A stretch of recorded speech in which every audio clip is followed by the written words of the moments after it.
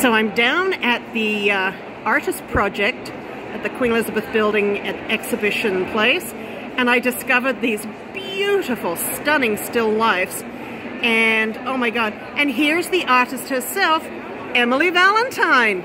Yay, and look at all those red dots. When did that happen? Yesterday, today? Yesterday and today, yes. Fantastic. And you told me that you're a self-taught artist.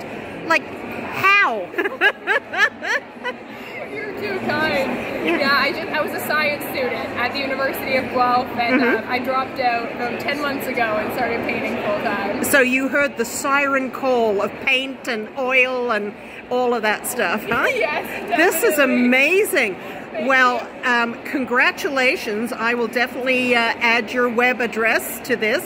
And bravo you. Good luck with the rest of the show, Emily. Thank you so much. You're welcome. Bye.